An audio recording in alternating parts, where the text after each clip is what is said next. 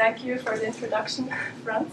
Um, so I'm happy to welcome you today to the first part of the software virtualization talk. And I'm going to talk about NeuroDebian, um, a computing platform for neuro and open science. And first of all, I want to start training to figure out what time it was. Sorry. It's okay, no problem.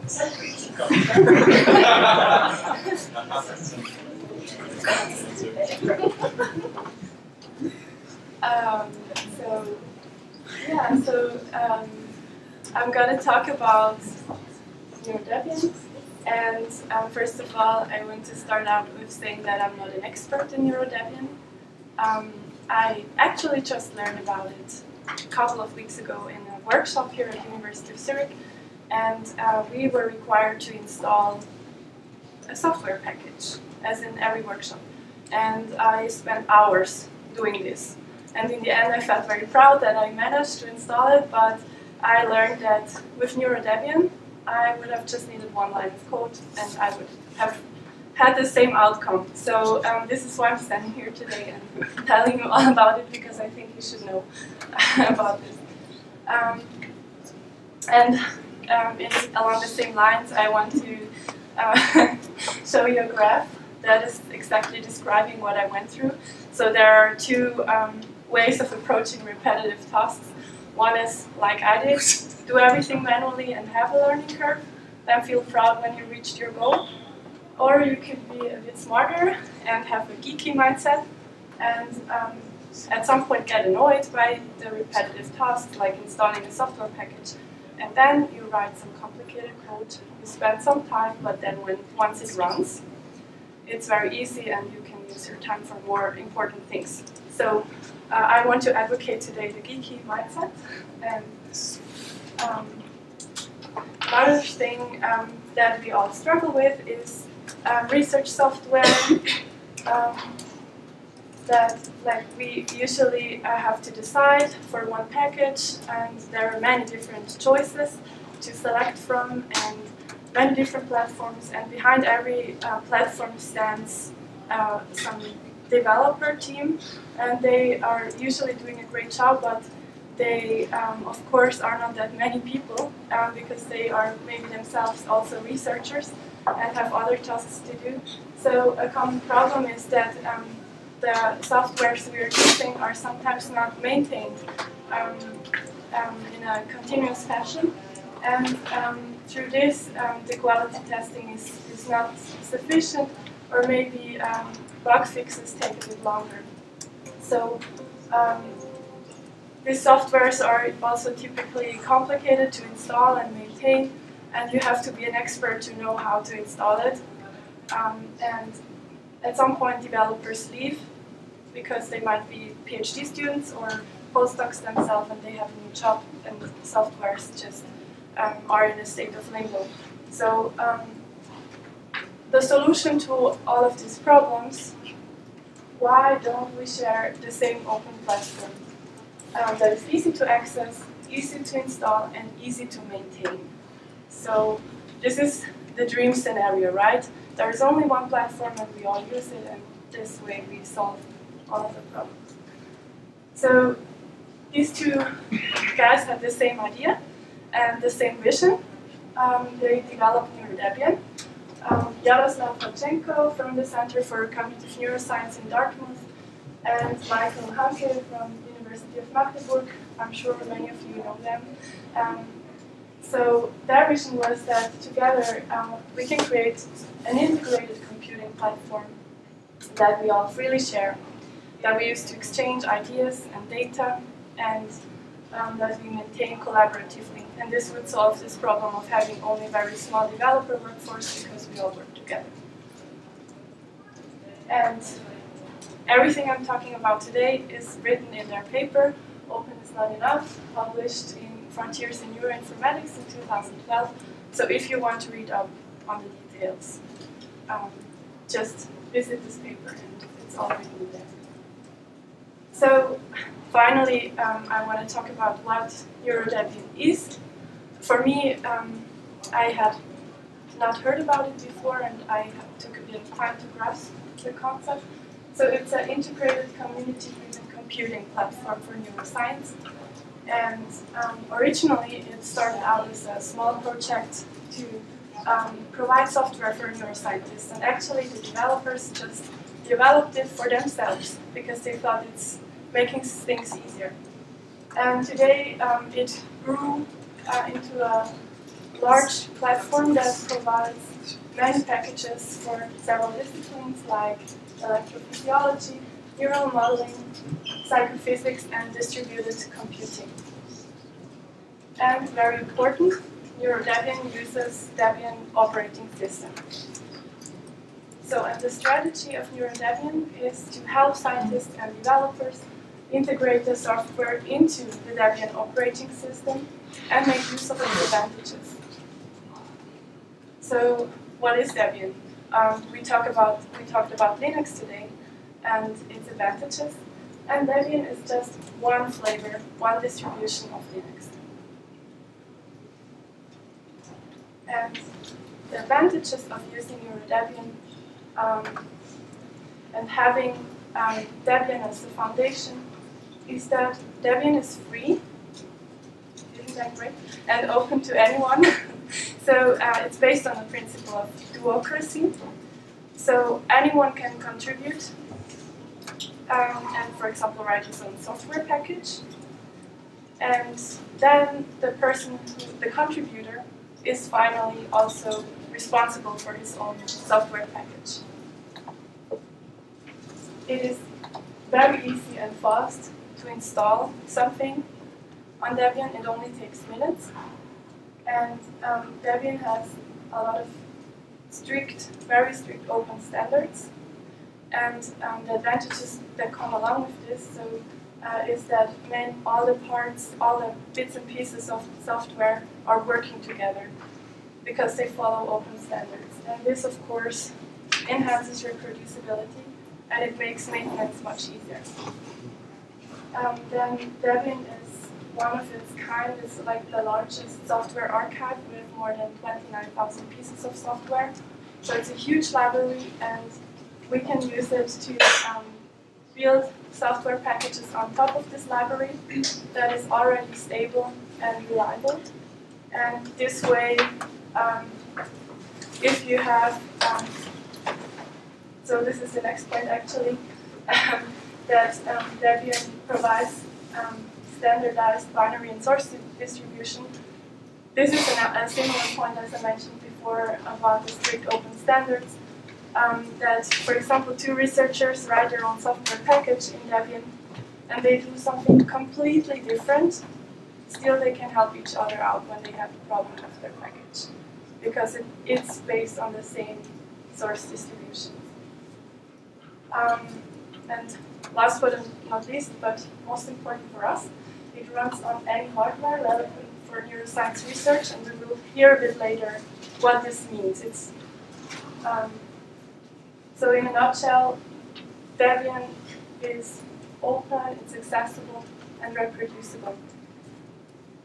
And NeuroDebian um, has been adopted very quickly worldwide. Um, there are thousands of re researchers worldwide using it, and it's growing at the moment, so there are 20 new subscriptions every day. You see it's very um, focused on Europe and the US. And a more practical um, thing to talk about is uh, what packages exist in NeuroDebian. Um, I think that's what interests you all the most. Uh, can I really use this? So there are different fields.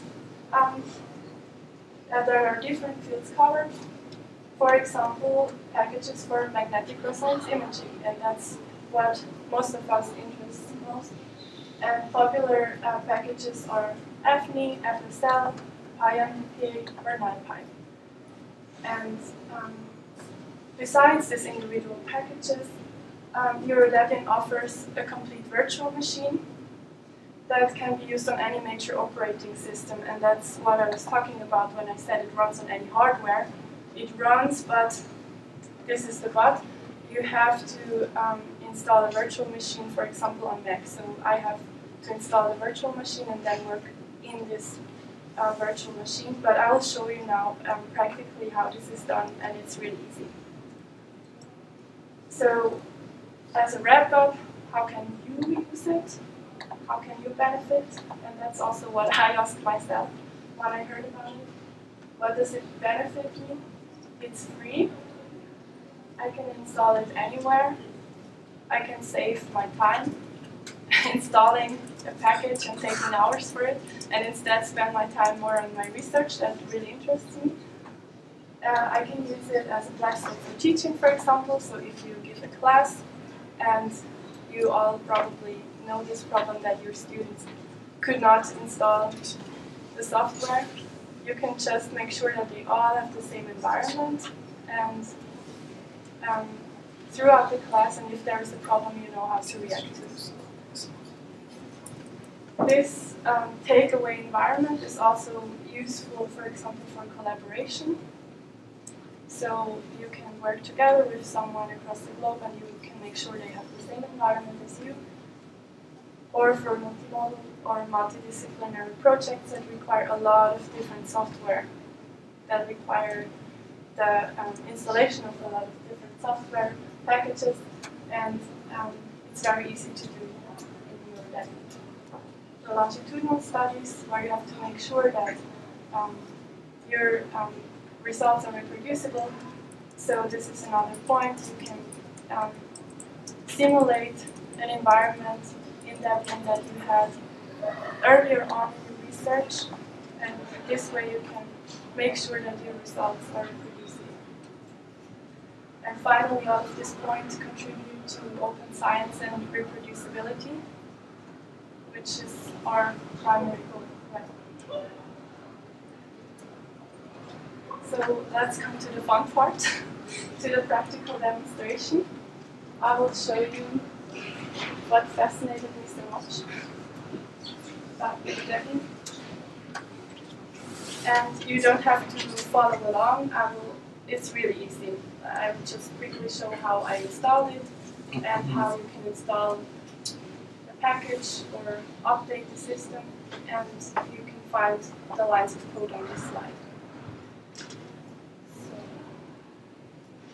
Let's go.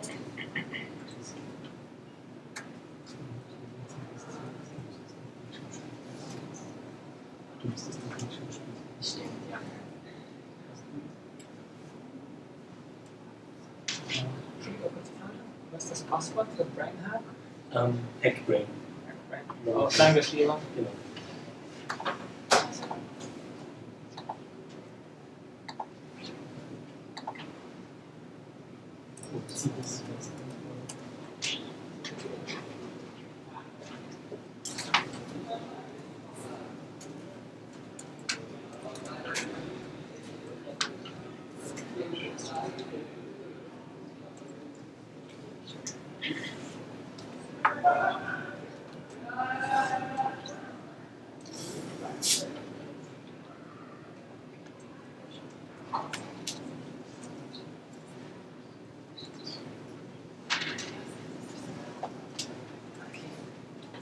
So we are on the NeuroDebian website. And first, to get NeuroDebian, you have to select your operating system. I have a Mac, so let's see what they recommend me. Um, okay, I need a virtual appliance. I cannot install it directly. And I can download the virtual appliance image here. I already did this because it takes some time. Then the next step is to import this image into VirtualBox. So I already installed this here.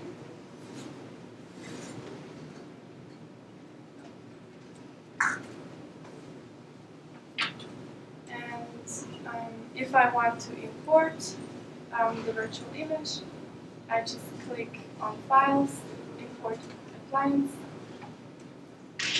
it? Yeah.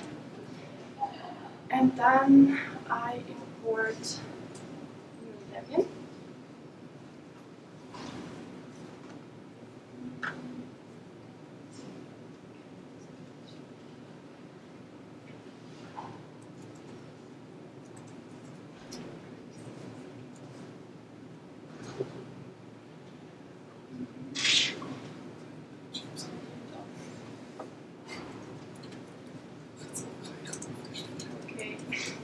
You see, I'm a beginner. um,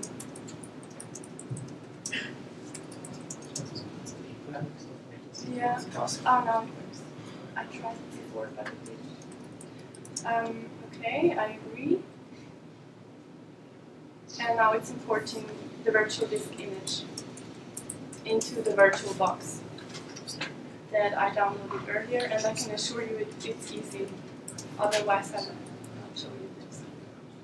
Um, so I already had NeuroDebian imported because I just wanted to have a backup in case it doesn't work today, you never know. But let's try with this um, imported image.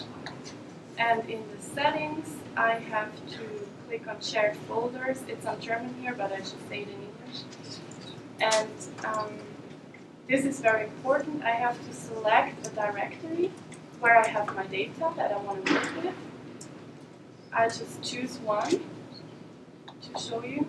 And then I have to select, I have to enter a folder name called host. So this is kind of a virtual um, folder. It's, it's just that um, Debian recognizes this folder, um, but it doesn't change your directory. I click OK, and your Debian is ready to use. I will use the version I already installed before because otherwise it will load some packages and take a lot of time and I don't want you to wait. So this is how the virtual box looks like. And what we can do here is, for example, we could upgrade, we could update the system with one line of code.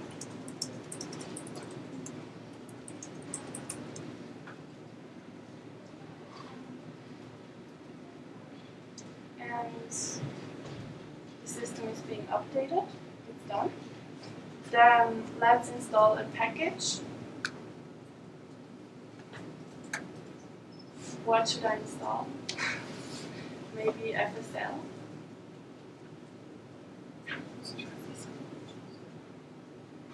So now it's installing FSL. I don't have to do anything.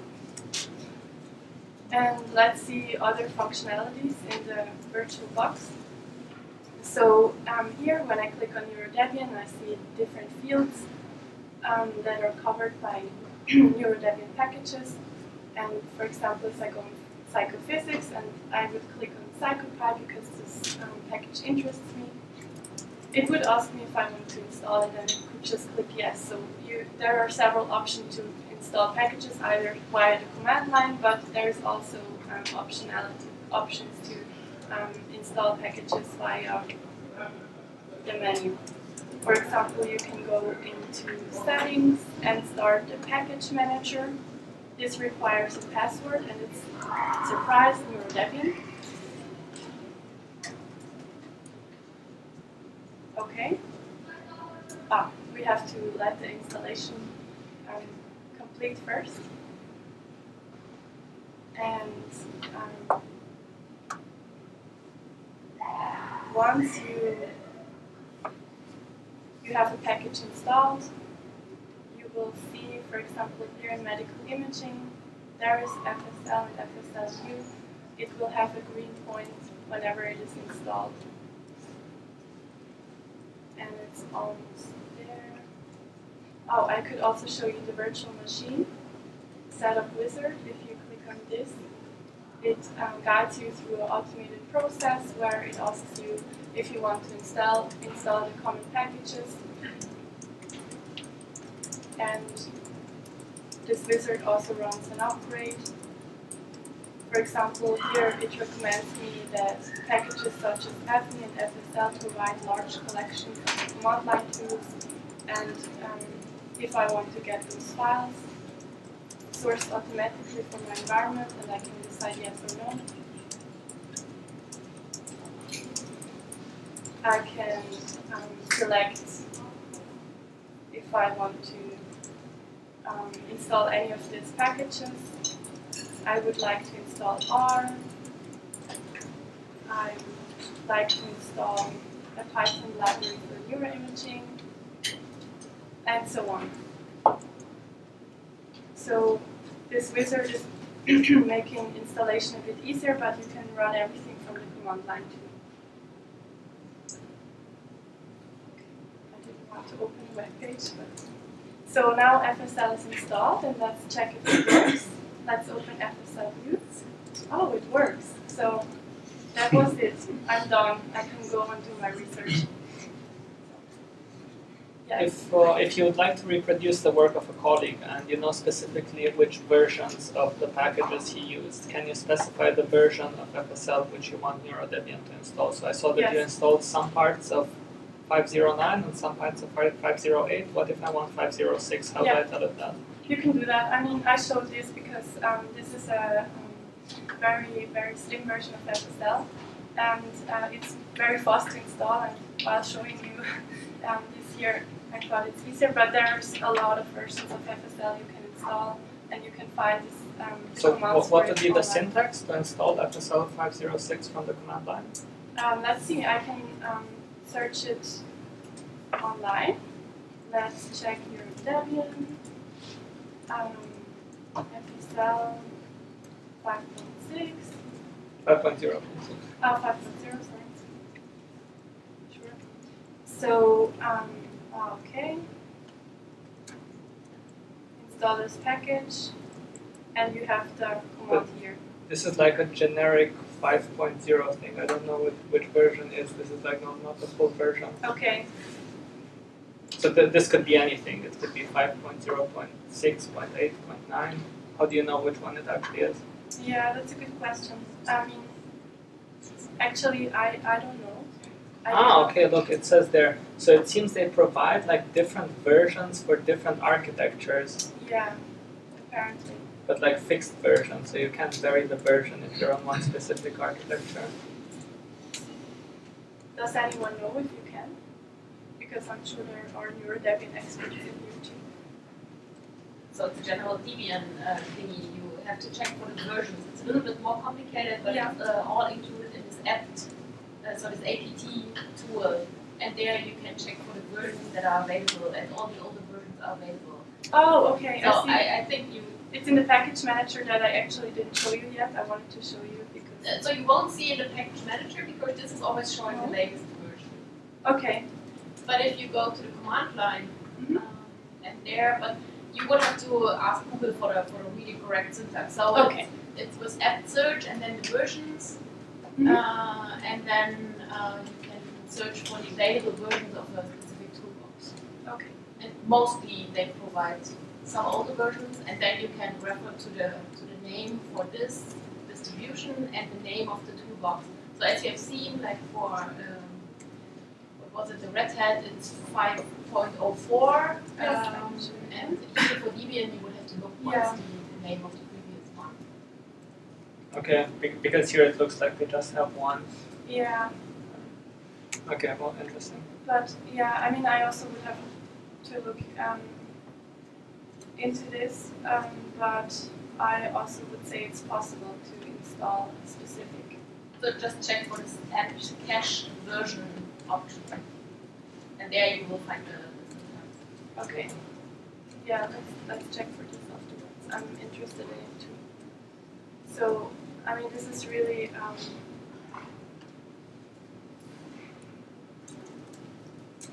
one last thing I want to show you the package manager.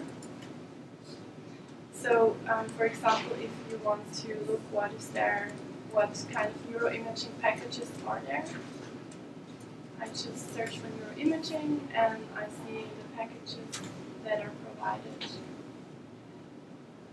here, and I can select the ones I want to install. But what I can also do is, if I already have installed all the packages that I need, I want to update them, I just um, mark all packages that require changes or upgrades, and I apply the marked changes. And here I can see which packages will be upgraded, which ones will be installed. And when I click on apply, this will be upgraded and installed automatically.